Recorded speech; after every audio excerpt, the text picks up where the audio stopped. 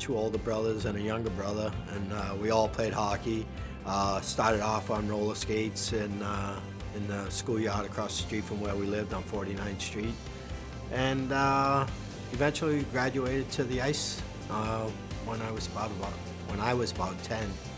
And uh, that was a big change for us. And we usually practice once a week on the ice and, and um, played maybe two games on the weekends.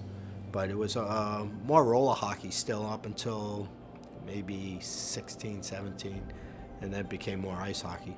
I guess you would kind of compare it to, you know, all the Canadians and all the Minnesota kids and Michigan guys, um, you know, skating on the ponds, except our pond wasn't frozen, you know, it was uh, made of concrete and, and uh, you know, we were out there every day from the time school ended uh, till sometimes 10, 11 o'clock at night. We were fortunate enough to have lights uh, on the school buildings that lit up the schoolyard long enough for us to play that late.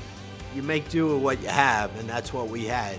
And uh, for us, those were the outdoor classics for us. You know, just just being able to play hockey that much and uh, enjoy the game that much uh, helped. I know I know it helped me get to where I, I, I got to, and uh, my brother Brian also.